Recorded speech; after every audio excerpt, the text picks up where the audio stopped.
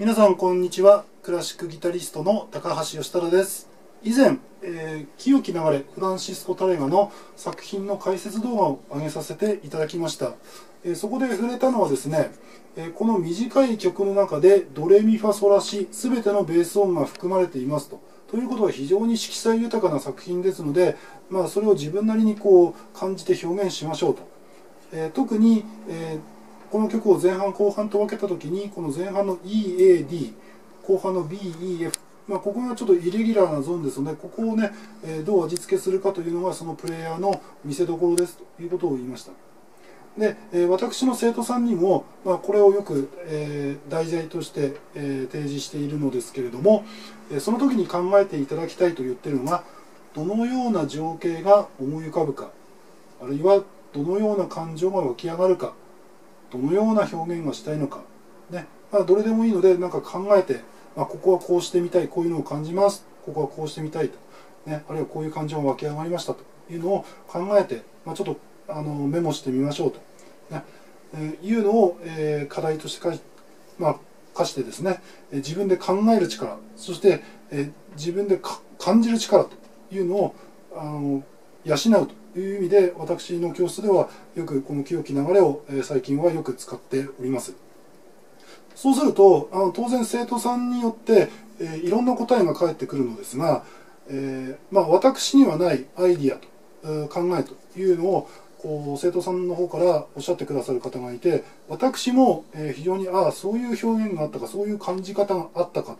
という感じでこう勉強になっているということが多々ありますので、えそのまあ、非常にこう参考になった勉強になった、えー、生徒さんのお答えの中からいくつかをこう紹介させていただきます。で以下はそういうぐ、まあ、具体的なねあの生徒さんの考えの例を挙げますのでちょっと自分であの一生懸命考えたいと、ねえー、ちょっとまだ他の人の意見は聞きたくないという方はあのここであの動画をやめてください。はい、じゃあでは、えー、具体的なね生徒さんのあのご意見のいくつかを挙げさせていただきます。まず1つ目ですけれども、この先ほど言ったイレギュラーゾーン、まず前半ですけども、よく見ると E、A、D と、まあ、6弦の開放弦、5弦の開放弦、4弦の開放弦ということで、えー、非常にこうクリアな音が出しやすいんですね。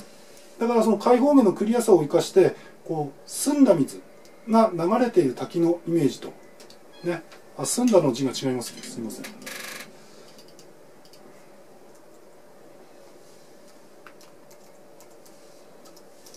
こうですね。澄んだ水が流れているこう滝のイメージと、ね、いう感じでこうシャーという感じをこう出すと。で後半のイレギュラーゾーンですけどよく見ると B と F という非常にこうクリアな音明瞭な音が出しにくいところなんですね。でそれを逆手にとってあのベース音がクリアに出し出しにくい B と F のところをまあ下流のこう濁った水のイメージと。だからあえてこう曇った音を使いたいと。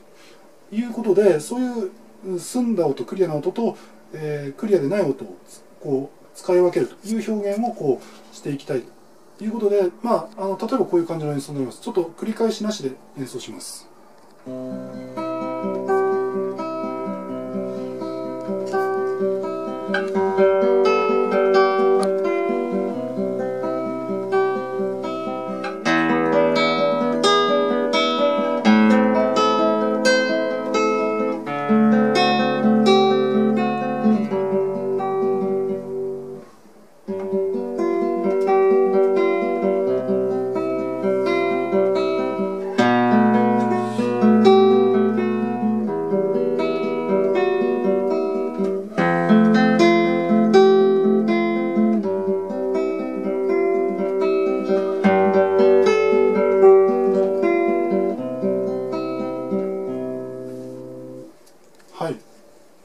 あの具体的にこうクリアな音を出す時あと曇った音を出す時というのはこの親指のこの向きですね。これを変えるようにしています。ちょっと手元もし映せればい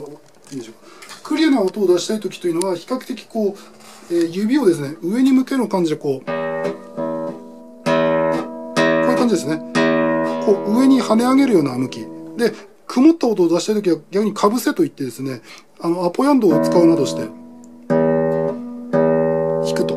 下に向かって打つと。こうするとこう曇った音が出しやすいんですね。そうやって親指のこの向きを変えるというのはあの一つテクニックとしてあります。まあ、ただそのまずそのこういうふうにしてみたいというイメージですね。それから始まるのでこういったイメージを持つことがまず大切かなというふうに思います。はい。で2人目です。2人目の場合はもうちょっと細かくこう、えー、考えをあのおっしゃってくださいました。まず最初ですけれども、えーと、まだ流れにもなっていないと。で水がところどころで湧き出ていると。いうことで、え、流れになってないというところを、えー、生かしてですねあえてノンレガートに弾くと。いうことを、まあ、意識するということです。そして、えー、最初のイレギュラーゾーンですけど、激しい渓流、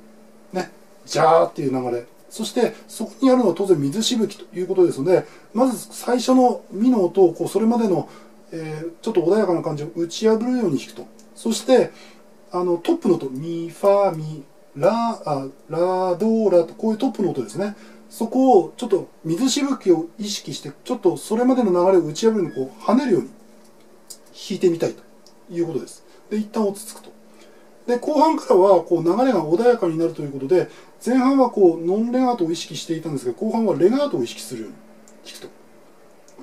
で、えー、後半のイレギュラーゾーンのところですけど川幅のある大きい流れを感じますということで、えー、大きい太いということでアポヤンドを使ってこう太い音こうで表現しようと。で最後は広い海や穏やかにこう流れて、えー、静かに終わるというようなこう一つまさしく川の流れをこう意識した感じですね、えー、になってで表現したいということです。まあ、それでちょっと私こういう感じかなと生徒さんその意思を尊重した感じでちょっと今から演奏させていただきます。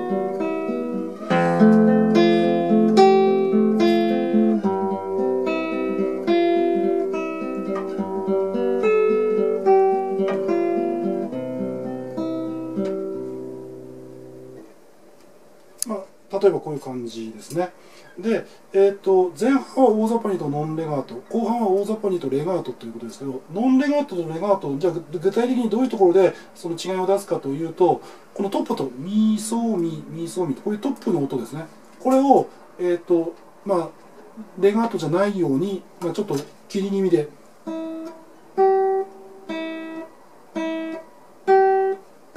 ちょっと切り気味でやると。対して後半はつなげると。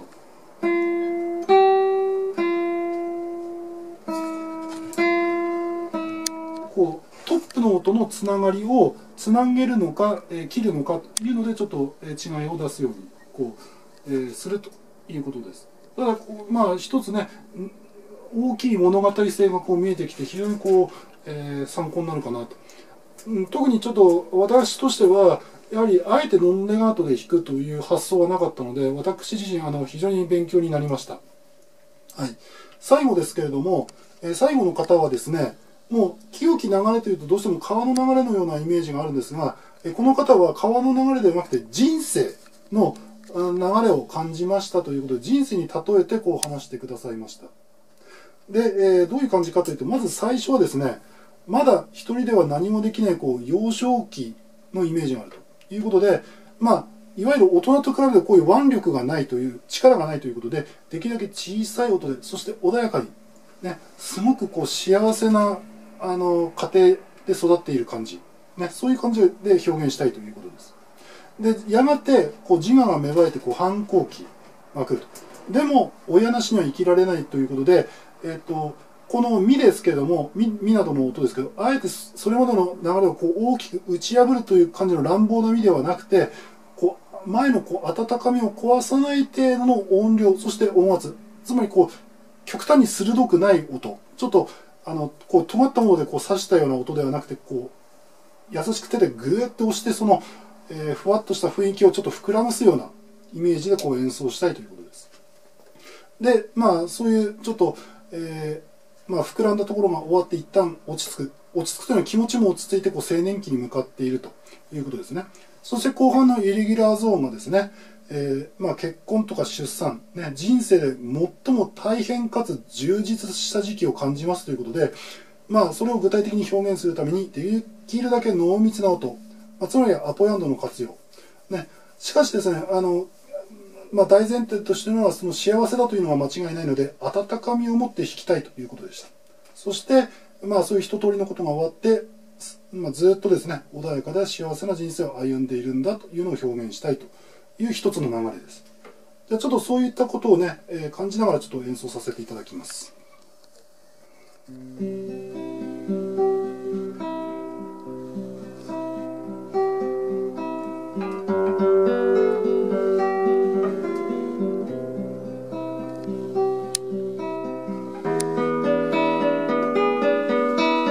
ま